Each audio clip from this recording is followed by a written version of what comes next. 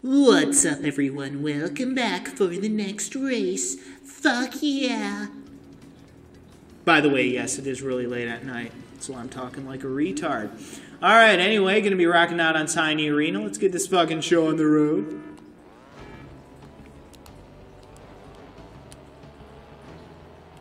You know, I don't know why they call it Tiny Arena. This track is pretty big.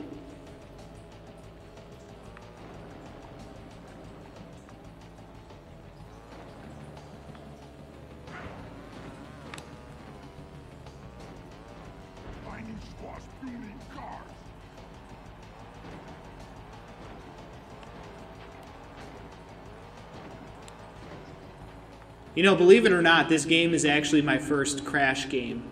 Like, I, I'm not actually too familiar with the Crash Bandicoot games. This is the only one I think I've ever actually played. Although it's technically not really like a Crash game. I mean, it is, but it, you know, it's a spin-off. It's not a main series game. But it still is my first Crash game.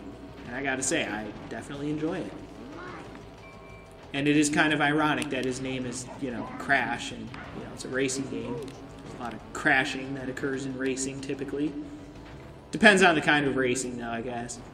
There's some racing games I've played where there's virtually no crashing, and then some racing games where I go out of my way to cause a shit ton of crashing.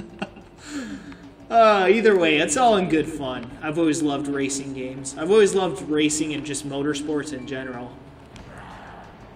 I grew up watching NASCAR and I've always loved it.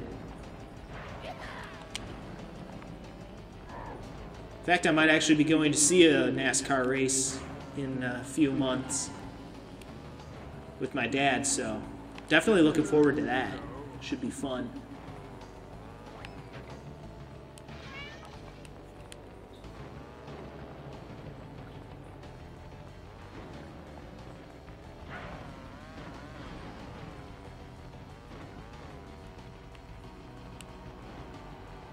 So yeah, I can't wait to uh, see what everything sounds like once I'm done with this recording session. Hopefully, again, this microphone will be all good to go. Uh, I still got to go back and watch these videos when I'm done with this recording session and see, but at the very least, I'm not hearing the buzzing sound, so hopefully there will be no other issues with this particular microphone. But at least now I know I think the issue was my microphone and not the recording device. Because if it, again, if it was the recording device, then I'd have a serious problem because that recording device was a huge and expensive investment for me. Like I really should not have bought it to be honest, because like it was really expensive.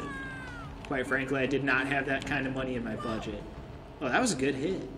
Especially after I, you know, especially with buying the PlayStation 3, I didn't really have a budget for that either, but I kind of just did it.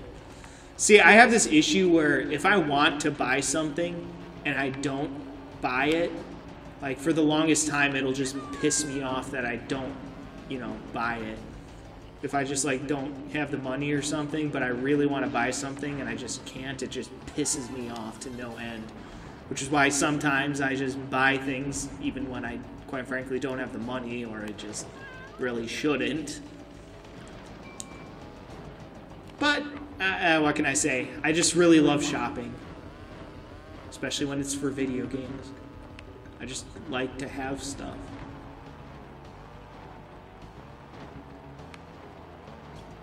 Besides, not gonna lie, it's pretty fucking amazing having like nine video game systems and over 400 games. Like, it's pretty pretty satisfying. Not gonna lie.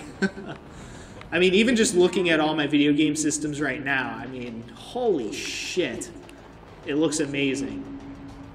That being said, the way I have all my systems set up, it's nothing fancy. In fact, it's my setup is rather ghetto to be honest, but it's still fucking amazing having, you know, sitting down here looking at nine different video game systems. That's fucking awesome.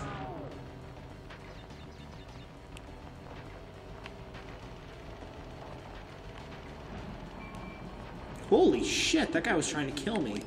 What a bitch.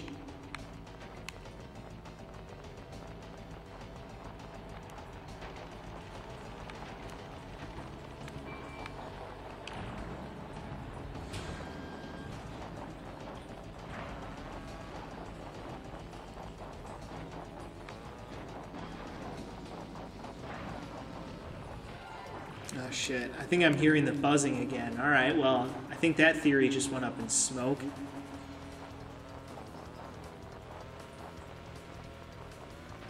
Yep. Son of a bitch, I'm hearing the buzzing again. Alright, well, I'm just gonna cut it here then. I'll see you guys next time. Peace out.